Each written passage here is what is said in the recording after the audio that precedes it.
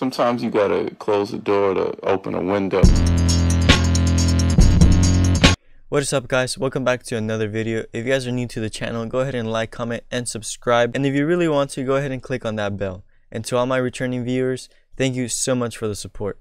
Now, today I want to talk a little bit about video games. So, as we all know, video games cause a lot of violence and so many mass shootings. Bruh. but people tend to forget that video games are a part of a large community and that they are actually considered a sport in not only the United States but also in Asian countries. And yes, a sport. And I'm That's not a sport. It's not a That's sport. It's not a real sport. But I- Zero knowledge. Can it truly be a spectator sport? A game, a game, a game, game. Is it though? Now, I'm not an angry gamer. This was around 2017, so at the time it was kind of on the nerdy side. People thought it was kind of weird and not a lot of people were interested in it. But it's 2019 and a lot has changed. People are a little bit more interested in the esports industry, not only because they like the games that are being played, but maybe because a lot of money is coming out of it.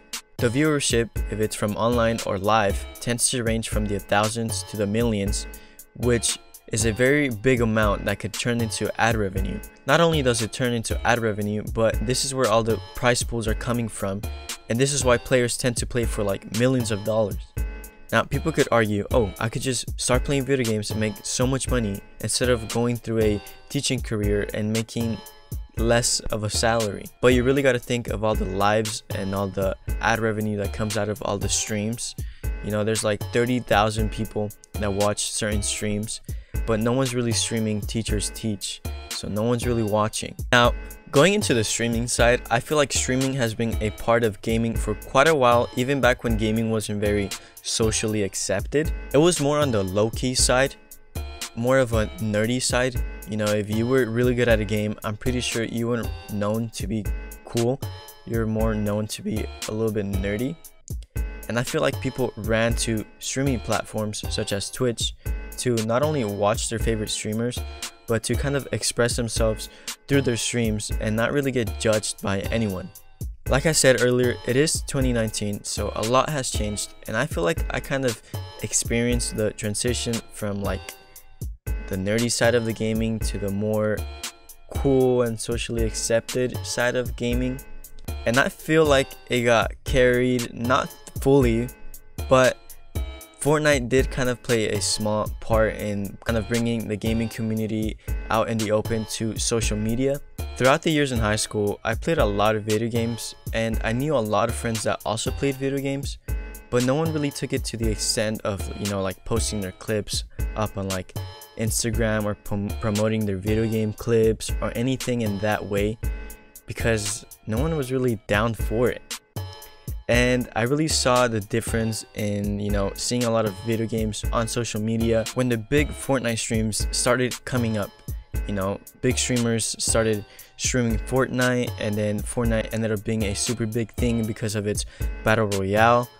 And I feel like Ninja, in a way, took it to like the next level by having Drake on his stream. And it's not like the biggest factor, but I feel like that did affect the way people started seeing, I guess, video games on social media, especially Fortnite, for example. Not only was Drake on the stream, but like a lot of other famous people were on the stream. But Drake was one of the biggest streamers that Ninja had. I know a lot of like famous people, such as like football players or other rappers, ended up on Ninja's stream.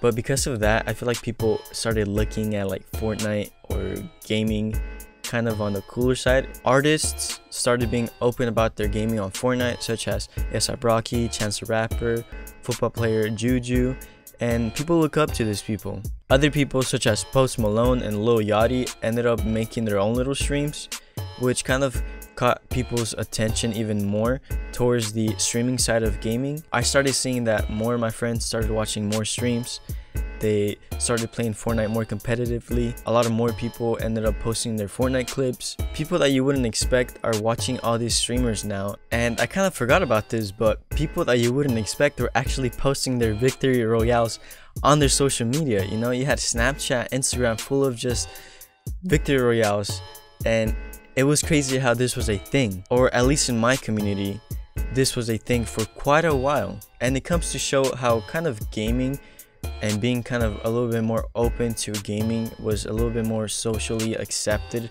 by others. You know you weren't called a nerd. You weren't really getting bagged over it. It was kind of cool for you to post your victory royales and show how good you were at the game. And it really shows how the gaming community is just growing and growing and it's no longer being slept on.